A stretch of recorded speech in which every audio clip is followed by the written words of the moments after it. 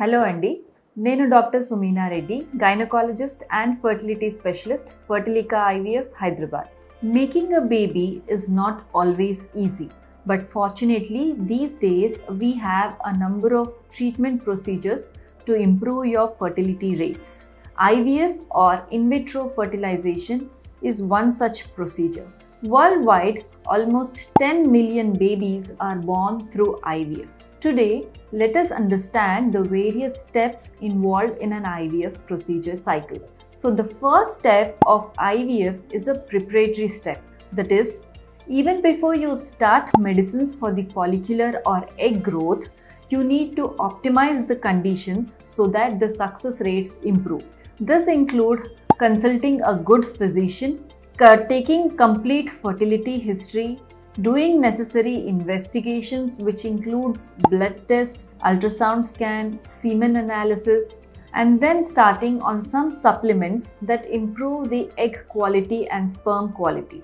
The second step is ovarian stimulation. That is, naturally, the humans are tuned to produce one follicle or one egg in one month. Whereas in IVF, we try to give hormone injections so that as many eggs as possible try to grow.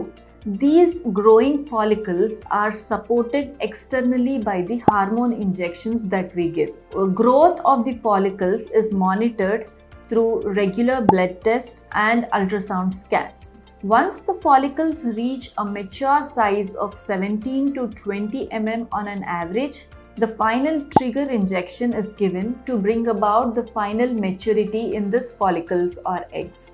The third step is egg retrieval or oocyte retrieval. In this procedure, the follicles or the follicular fluid is drawn out through a fine needle that is passed alongside a transvaginal probe of an ultrasound machine. So, this follicular fluid contains the egg or oocyte.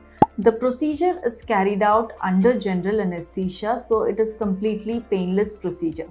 The follicles or the eggs thus collected are examined under a microscope to separate the mature eggs or follicles from the immature ones.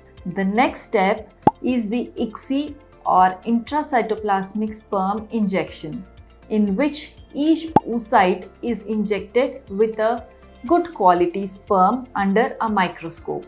When an egg is injected with the sperm, the resulting embryo is cultured in an incubator within the laboratory. The next step, thus, is embryo culture. The embryo culture usually goes on for 3 to 5 days. By the end of 3 days, we expect a 8 celled embryo, and by the 5 day culture, we expect a blastocyst which is nearly more than 100 cells. These embryos are again graded under a microscope to know what is the quality of the embryo. The next step is the embryo transfer. That is, the embryos thus formed in the laboratory are transferred back into the womb or uterus under the ultrasound guidance. Any extra embryos left behind are usually frozen so that you can use them in your next cycles. So, to summarize, the essential steps of IVF are the preparatory step, ovarian stimulation, oocyte retrieval, IVF ICSI, embryo culture, and embryo transfer. The success rate of a well performed IVF procedure is usually between 45 to 50%. So that means you need to be prepared as much for a success as for a failure. The success rate of an IVF procedure depends on the age of the couple, the indication for which the IVF is being performed, the quality and number of the eggs and the quality and number of the sperms, and finally the quality of the laboratory in which the embryos are being cultured. So, if you are suffering from infertility and are planning to go for an IVF treatment, it is crucial that you meet a good fertility consultant, get yourself evaluated, talk about the various steps of the procedure, and then start your treatment on time. Thank you.